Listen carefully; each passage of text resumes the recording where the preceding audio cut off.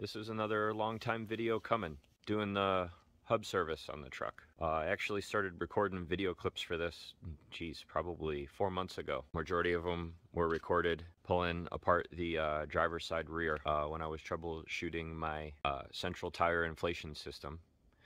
And I realized I had forgot to record a few things, accidentally deleted a couple things, from my phone. So uh, this entire video is going to cover just going over the tools, parts, and what I did going over the hub service. So we'll dig into that. Okay, a whole bunch of tools and supplies for doing the hub service. Uh, grease gun, rags, got my impact, whole bunch of different picks, a pretty decent size flathead screwdriver, big pry bar, an angled kind of pry bar thing. This particular thing is like a uh, body clip panel, uh, another body clip panel piece, little flashlight. Uh, I didn't show it during my recording, but I ended up using a paint marker to mark the splines on the lining up the two studs that are on the axle nut. And you'll see what I'm talking about because I suggested it and then I ended up using it off the camera. 7 eighths, 1 1 16th, uh, banjo bolt, and CTIS armor PB Blaster is great, soak everything. This big old socket right here is for the axle nut. It is a 3 and 7 eighths. It probably isn't something you're going to have. Uh, I'll have a link in the description for it. 9 16ths, these are two different 9 16ths drives. 8 millimeter Allen key. Got to splice this in as I was editing. Forgot to 38 millimeter for the lug nuts whole bunch of different brushes and stuff like that for cleaning things off. Torque wrench, regular ratchet. This special tool right here is for doing the depth measurement on the uh, hub shims. Link to the eBay listing in the description. You will also need to get yourself some 3 8 16 bolts that are a little bit shorter. I found these in my hardware bin to attach them to the hub. You'll see when it gets to that. Just showing a tube of the grease I used. Um, O-ring lube, a little file for in case you have any marring. Snap ring pliers for taking off the end of the axle. This goes with the RTV. Three-quarter wrench for caging the brakes. These are caging bolts. I recommend having something to write with when you're doing your depth. Uh, a dial caliper, definitely needed. Some various hammers, punch. These right here are the drivers I used for the seals. They're not perfect, but it's also a hell of a lot cheaper than buying or having the ones made that are in the TM. The bigger one being for the seal that's on the back side of the hub for the bearing, and using this one for the CTIS seals, and this is the driver that comes with it. Links in the description. I had multiple of these. I didn't end up needing them. Uh, shim kits for the axles. It's kit 4715. I'll put a link to these. And then also part number 5X1155 to NSN 392 1637. These are the O rings that go on all fours of the, the gear at the end of the axle. You have to replace those. Gloves, shovel. Forgot to record a clip with the seals and the part numbers. So we'll start with this one. My little helper's holding that's the CTIS seal. Part number is A1205Q24 305. Right, Sydney? Mm-hmm. mm-hmm. You want to hold this one for me next? That plastic, the little part that goes over the CTIS seal, 2297R6648. And then the inner hub seal, A1205R2254. Links in the description. Sections covering this in the TM are 10 TAC 2, and it's in TM number 9 or TAC 2320, TAC 365, TAC 20, TAC 3. Also, there, there's another section either right before or right after that goes along with this that's pretty good. With the tool, they send some instructions on how to do the depth thing that are a little bit more helpful, which is cool. You'll also need gear oil, uh, 75 weight 90 Lucas oil. All right, got all my tools ready. I got jack stands and bottle jack in place, so obviously first step is to get the wheel and everything off. So I'm gonna leave the wheel on the ground and get everything loose, jack it up, get the wheel and tire off, and move on from there.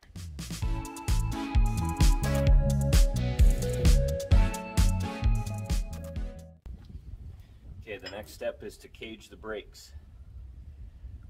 I've never done this before. I don't think it's rocket science. You pull your plugs out, and then you can see that in the edge of it, there is a way for these cage bolts to fit. You put it in there, and then you're going to feel it hit another wall of some sort. You kind of got to twist it, get it in there. Once the prongs get past it all the way, you don't want it to pull out because the idea. So you turn it like a quarter of a turn, and then you should feel it lock into place. So pull out on it, feel it lock, and then twist it to make sure, and then tighten the nut down. And these are three quarters on these cage bolts. And then from here, you're just gonna tighten it by hand until you feel it stop. And you're gonna have to do it on both sides.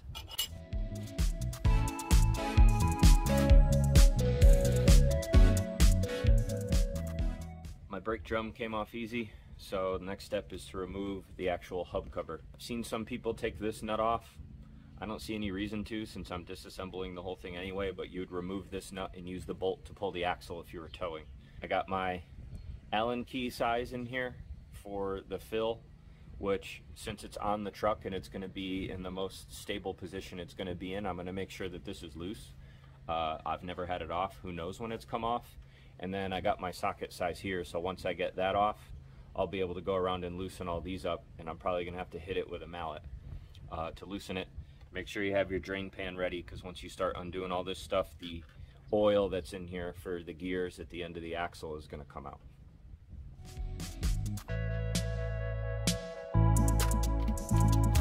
That's not a good sign.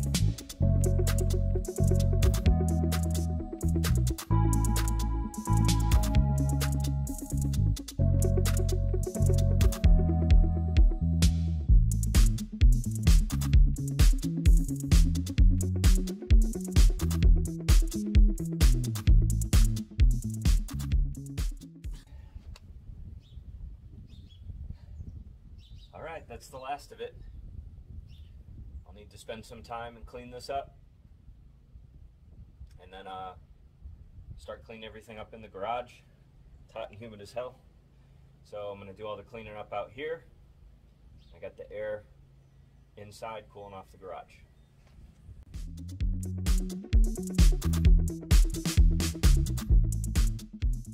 All right, so everything's cleaned up to my liking. A little bit of marking and stuff on the axle, but to be expected. Uh, nothing seems terrible on here. Uh, none of these grooves are really noticeably deep or anything like that. Uh, teeny tiny spots of rust on the threads and somewhere it looks like the outer CTIS seal rides. I may take like an emery cloth and try to get rid of that, but at the same time, I mean, I can't feel it pressing as hard as I can with my thumb on there. And I just shoved some clean shop towels in there just to kind of keep the rest of that fluid from coming out.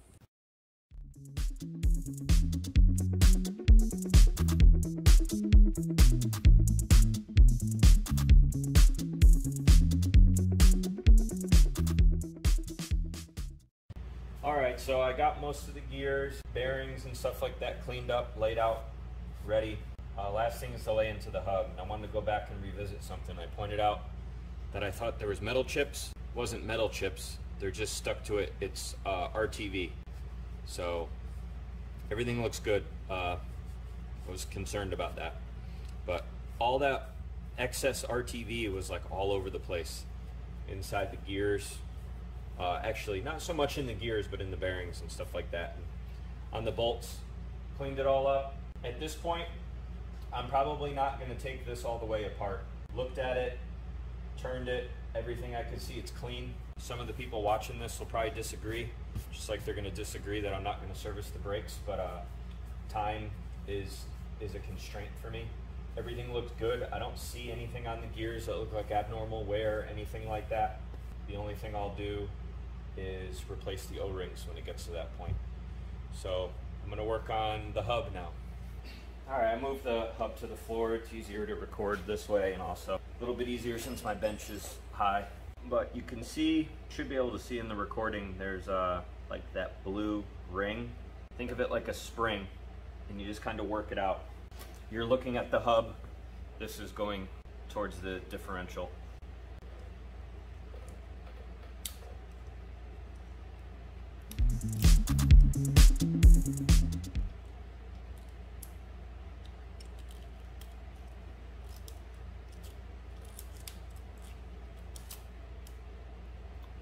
Okay, that was simple. And the next thing should be, there's like a little plastic piece that's going up to the CTIS seal that's in there. And then the next thing in there should be the CTIS seal. I doubt I'm going to be able to just pull this out. The most obvious one is right by where the tip of this pick is, and there's a couple of them going this way. It looks like someone, instead of using a proper driver to push this in, they used a punch. So I'm going to flip it over so I can do the same thing on the other side more RTV crap in there. So I guess now, since I don't I don't have like a something really good to pull with force, I'm just gonna use a regular punch since I'm not concerned about damaging the seals. And I'm just gonna punch from this side to punch the other side out and then flip it and vice versa and we'll have it open so I can clean it. Anyway, got those out. These you're gonna wanna save. I did buy some spare of these plastic in case I found them crap. Uh, crap cracked. Cracked would be crap. But these look like they're in good shape. I'll probably just reuse them. Now it's just going to be kind of cleaning up everything in here.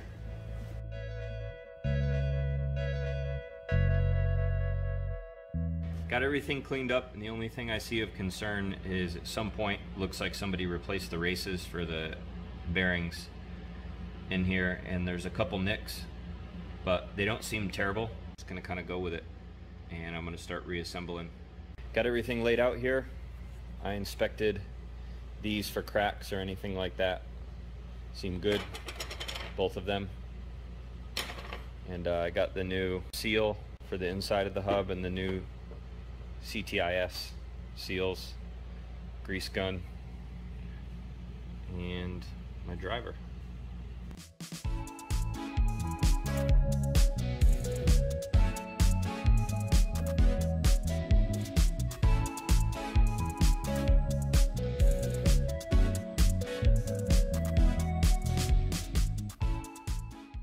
Didn't realize in the fast forward, uh, I did a really bad job of showing this. So when you're using the seal driver on the back side of the hub, grease it up just a littlest bit. It doesn't fit the way that it's intended for the oil seal, that national oil. You got to use it backwards and just kind of push it on that way. You could honestly probably get away without using a driver like this and just lightly go around and tap it with a soft mallet.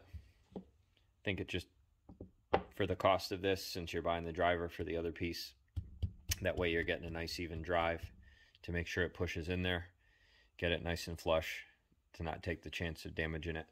Then when you're putting in the CTIS seals, at least for me, I was having a hard time getting them to actually push all the way in. Um, I put a little light coating of grease on there, would push them in, and then it seemed like what they wanted to do was start trying to work their way back out. And then you have to put this on top of it, and then that little circular piece. And I was having a hard time getting this to seat all the way down with that little locking ring being able to seat all the way in. And what I ended up needing to do, what I did not really like doing, but it was the only thing I could do. I don't know if you could tell in the fast forward because I sped it up really, really fast, but we sat there for like 40 minutes. I ended up needing to beat on it like this with the seal driver on top of the plastic to be able to get an even enough push to get it all the way down to then be able to make sure that seat was in all the way. All right, next step's just gonna be putting the hub back on, putting it on, and then it's the outer wheel bearing and then the nut, and then after that is when you do the measurements.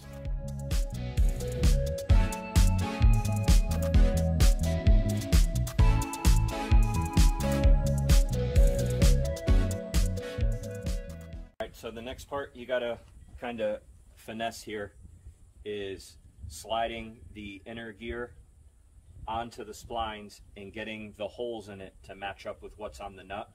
So this is just one of those games, put it on and, and try your best to get it. I probably should have made like a little mark on here and then the gear to get me close, but if you have to, you might need to pull your shims off and then slightly adjust that nut, either tightening it or loosening it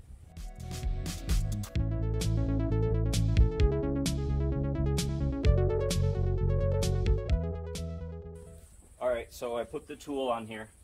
You need uh, 3 8 16 bolts. You can't use the ones that come uh, to put the cover on because they don't have enough thread. So you put your nut, you set your nut the way it needs to, put your shims, put the tool on, tighten these down snug, tighten this down, and then use a, a caliper. You have to measure your depth. Now, the TM goes off of a measurement from the shim face to the hub face right here, but with the tool. You have to measure the thickness of the tool and add that to the tolerance depth. So I measured my tool, it was 0.752. The range that the TM gives you is 7.168 to 2173. So that makes a new range of 2.920 to 2.925. And then it's got the little holes and you just take the depth measurement on each side. Make sure I didn't measure it at first. Make sure you're uh, even. Push it down and then take your reading. And uh, mine is at 2 point like 92 on both sides, give or take. So I'm gonna leave it. I'm not gonna add or take out any shims. But you would need to, if you did have to change the shims, loosen these a bit, take the bolts off, put a new shim or take a shim off, and you gotta keep doing it until you get it to where it's within the uh, proper tolerance. Okay, the next thing is to replace the four O-rings because this is going back on again.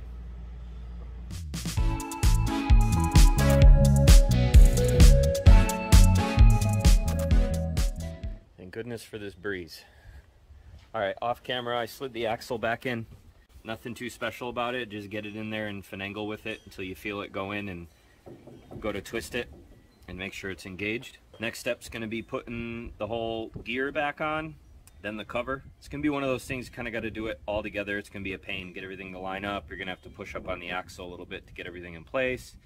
And once you get the gear in there, somebody boogered that up pretty good at some point, just noticed that put some of the gasket maker around everything. Already got the O-rings replaced. Then once you get all that, put the snap ring on first to kind of hold everything together. Then put the cover on. Then you got the bearing. And then there's a little sleeve behind it that they don't really come out that easy. I still left a lot of oil on them, which is good. They kind of stick. You got to make sure that these are in there the right way. And then the bolts. Uh, quick note before putting this together.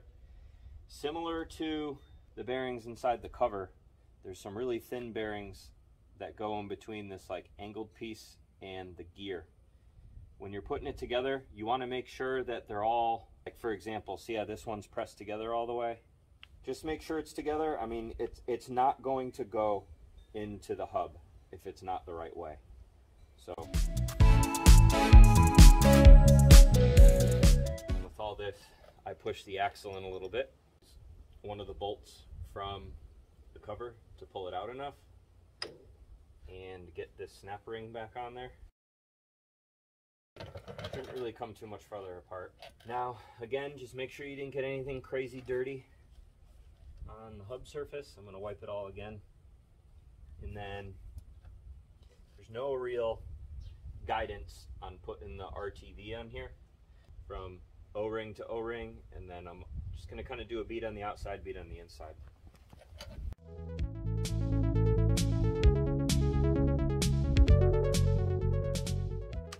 Okay, the TM on these, I thought it had like a sequence to uh, tighten them. I'm gonna have to go get the right size socket, but I'm gonna finish saying what I'm saying. Um, a certain sequence, I mean, use common sense and, and crisscross, sort of like doing your lug nuts. It's 35 to 50, so I'm gonna do 45. Uh,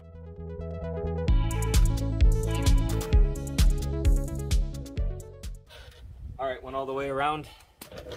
Now, my uh, gasket maker that I used here, keeps squirting out here, making a mess, um, says to install and then let it sit for the, the vehicle to sit for an hour. What I'll probably do is coming up here on dinner time anyway. I'm gonna put the plug in there just to make sure dust doesn't go into.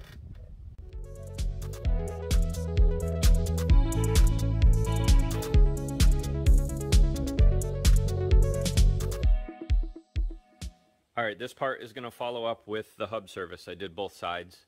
Since you service both side hubs, all that oil was coming out um, when I was servicing the uh, driver's side because this does share.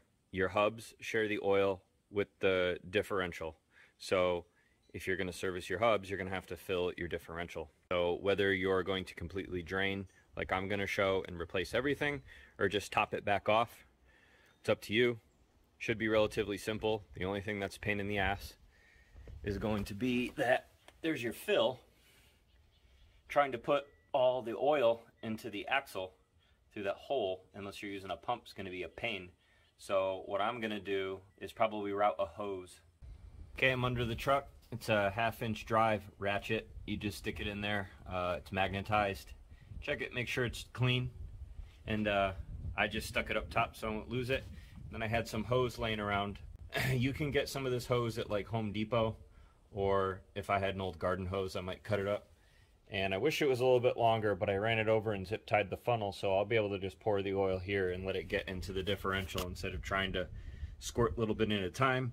And then a five gallon bucket does fit underneath. And same thing on that plug. It's a half inch ratchet uh, connection. So loosen it, take it off, let it all drain out. I'm not going to record that part because uh, it's just fluid coming out. All right, looks like we're pretty much drained out. I uh, cleaned up while I was waiting both of the uh, plugs. Uh, did have a fair amount of stuff stuck to the magnet on the uh, drain plug, but when I looked at it, most of it was really gooey. My best guess is when I did the hubs, both sides, especially the one I did off camera, there was a ton of extra RTV in there. And similar to the plug when I pulled it off on the hub, think the RTV maybe just got a teeny tiny bit of metal shaving in it and then it caused it all to stick to it because it was like real gooey. Either that it might have been some oil sludge, even though the oil is pretty darn clean coming out of here. But uh, I'm gonna let that finish dripping a little bit more, plug it back up, and then start filling.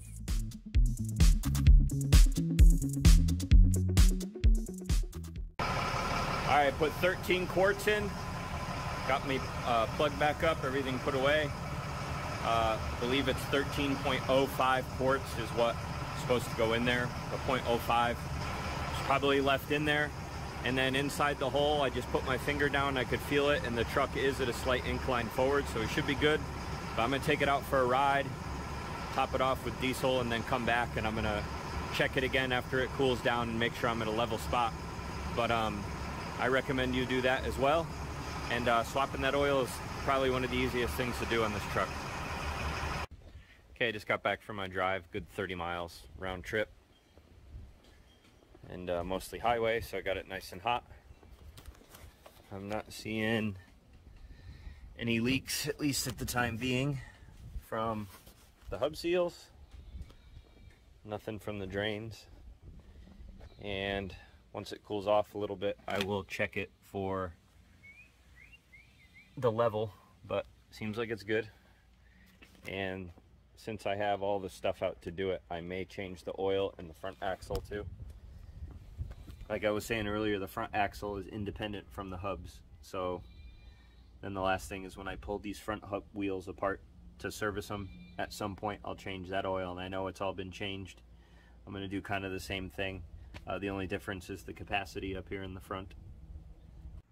I drained and refilled the front axle. I'm going to put a caption with the capacity. And uh,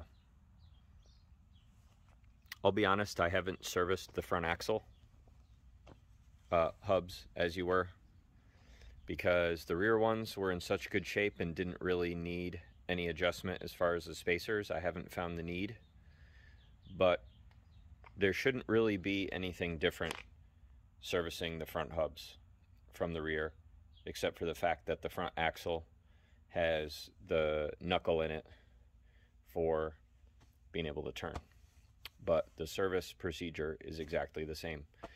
And then when you put everything back together, because the differential does not share oil, you're going to put it back together, move the truck so you can get to the fill, and then you're going to put the right amount of fluid in there, which I'll put in a caption. And then check it to make sure it's good and has the amount of fluid that needs to be in there and check for leaks and stuff. If for some reason there's anything extra to the front that I didn't realize when I actually do the front, uh, I'll follow up in the comments, but I don't think that there is. So there you have it.